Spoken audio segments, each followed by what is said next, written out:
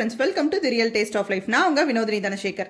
இன்னைக்கு நம்மளோட பேச்சுலர் சமையல் சீரீஸ்ல நம்ம பார்க்க போற ரெசிபி என்ன அப்படின்னா வெள்ளை குஷ்கா இருக்கும் இல்லையா? அதுதான் பார்க்க போறோம். அது ரொம்பவே ஈஸியான ஒரு ரெசிபி நம்ம பார்க்கறதுக்கு ரொம்ப கஷ்டமா இருக்க மாதிரி தெரிஞ்சாலுமே அதுல போடக்கூடிய இன்கிரீடியன்ஸ் வந்து ரொம்ப கம்மி ரொம்ப ஈஸி வாங்க அது எப்படி பண்றதுன்னு பார்க்கலாம்.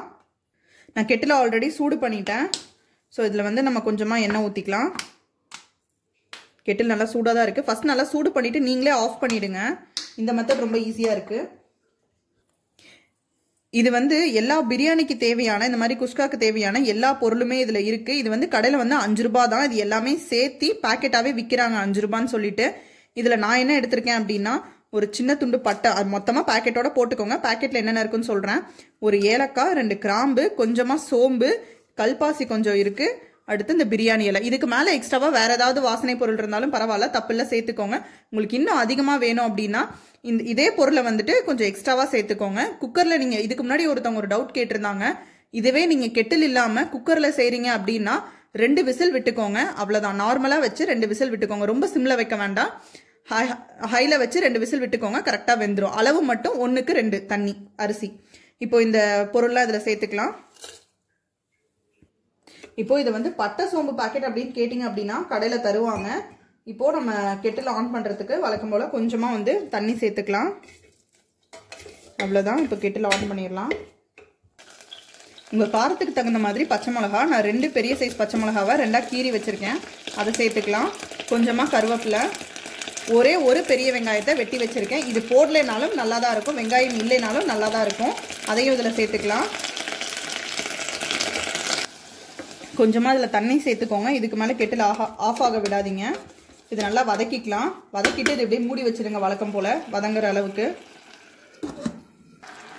இப்போது வெங்காயம் பச்சை மிளகாலாம் நல்லா வெந்துருச்சு. இதில் இஞ்சி பூண்டு பேஸ்ட் சேர்த்துக்கலாம். ஒரு ஒரு டீஸ்பூன் அளவுக்கு சேர்த்துக்கலாம். கடையில் கிடைக்கும் இல்லையா? ஒரு பேக்கெட்டு அஞ்சு ரூபா பேக்கெட் அதில் வந்து நீங்கள் பாதி சேர்த்தா போதும் இதில். இதையும் சேர்த்து நல்லா பச்சை வாசனை போகட்டும். இப்போது இதில் சாப்பாட்டுக்கு தேவையான அளவு உப்பு சேர்த்துக்கலாம். கல்லுப்பு துளுப்பு உங்ககிட்ட என்ன இருக்கோ அதை பார்த்து அளவு சேர்த்துக்கோங்க. இதுக்கு ஒரு அரை டீஸ்பூன்லேருந்து ஒரு டீஸ்பூன் அளவுக்கு உப்பு சரியாக இருக்கும்.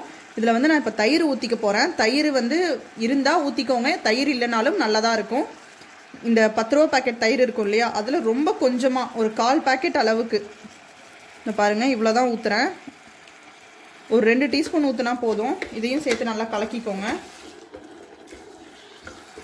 இப்போ எல்லாத்தோட பச்சை வாசனையும் போயிடுச்சு. உள்ளே வந்து ஒரு கால் கிளாஸ் தண்ணி இருக்கும். இதில் வந்து நம்ம இப்போ ரெண்டு கிளாஸ் தண்ணி ஊற்றினோம்னா கரெக்டாக இருக்கும். நம்ம ஒரு கப் அரி அரிசி போட்டிருக்கோமா? ஸோ ரெண்டு கப் தண்ணி நான் ஊற்றுறேன் இதில். குக்கருக்கும் இதே கணக்கு தான். இப்போ தண்ணி நல்லா கொதிச்சிருச்சு. நம்ம அரிசியை போட்டுடலாம். நல்லா அதே மாதிரி தான் கழுவி ஒரு பத்து நிமிஷம் ஊற வச்சு வச்சுருக்கேன். அதை இதில் சேர்த்துக்கலாம். இப்போது இது கூட இந்த அளவுக்கு வந்துட்டு அரை எலுமிச்சம்பழம் வந்து புளிஞ்சு வச்சுருக்கேன். அதை சேர்த்துக்கலாம். உங்ககிட்ட இருந்தால் சேர்த்துக்கோங்க. இல்லைனா தயிர் எலுமிச்சம்பழம் வந்துட்டு உங்களுக்கு ஆப்ஷனல் தான். இல்லை அப்படின்னா பிரச்சனை இல்லை. அந்த பட்டை கிராம்பு இஞ்சி பூண்டு பேஸ்ட்டு வெங்காயம் போட்டு வச்சாலே இந்த சாப்பாடு நல்லா தான் இருக்கும். இப்போ மூடி வச்சு வேக வச்சிடலாம். இப்போது நமக்கு சூப்பராக நம்மளோட குஷ்கா பிரியாணி ரெடி ஆகிடுச்சு இதில் வந்து இடையில இங்கே கொஞ்சமாக தண்ணி இருக்கும். இதுக்கு நம்ம என்ன பண்ண போகிறோம் அப்படின்னா இந்த மாதிரி வழக்கம் போல் இப்படி அமுத்தி வச்சுட்டு ஒரு பத்து நிமிஷம் போல் நம்ம தம் வைப்போம் இல்லையா? பிரியாணிக்கெலாம் வீட்டில் வைப்போம்ல? அந்த மாதிரி வச்சு மூடி வச்சிட்டோம் அப்படின்னா அந்த தண்ணி எல்லாமே இஞ்சி அந்த அந்த உள்ளே இருக்க அந்த காத்தோட புழுக்கத்துலேயே வந்துட்டு மிச்சம் கொஞ்சம் வேகாமல் இருந்தால் கூட நல்லா வெந்துடும் அவ்வளோதான் இது ஒரு பத்து நிமிஷம் கழித்து பார்க்கலாம். இப்போ ஒரு பத்து நிமிஷம் ஆயிடுச்சு. நம்ம இப்போ பார்க்கலாம் அதை சைட்லேருந்து எடுத்து விடுங்க. பாருங்கள் தண்ணி எல்லாமே நல்லா வத்திருச்சு. சாப்பாடும் உதிரி உதிரியாக வந்துருச்சு. பாருங்கள் நமக்கு சூப்பராக நமக்கு ரெடி ஆகிடுச்சு இப்போ நம்ம அதை சாப்பிட்டு பார்க்கலாம் எப்படி இருக்குன்னு.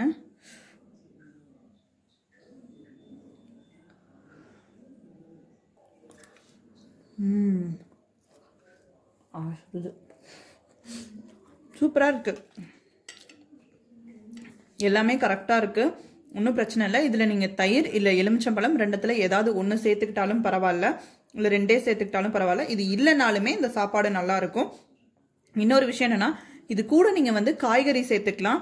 கேரட் பீன்ஸ் அப்புறம் இந்த மீல் மேக்கர் இதெல்லாம் கூட நீங்கள் அந்த வெங்காயம் வதக்கும் போது அது கூடயே சேர்த்து நீங்கள் வேக வச்சிடலாம் அதுவும் நல்லதாக இருக்கும். நீங்கள் அப்படி போட்டிங்க அப்படின்னா உங்களுக்கு தொட்டுக்கிறதுக்கே எதுவுமே தேவையில்லை. ஊறுகாய் வச்சு சாப்பிட்டா கூட ரொம்பவே சூப்பராக இருக்கும். நீங்களும் இதை ட்ரை பண்ணி பாருங்க. ட்ரை பண்ணி பார்த்து உங்களோட கமெண்ட்ஸ் சொல்லுங்கள் உங்களுக்கு இந்த சேனல் பிடிச்சிருந்தா சப்ஸ்கிரைப் பண்ணி பக்கத்தில் இருக்க பெல் ஐக்கானை ப்ரெஸ் பண்ணிக்கோங்க. தேங்க்ஸ் ஃபார் வாட்சிங் தேங்க்யூ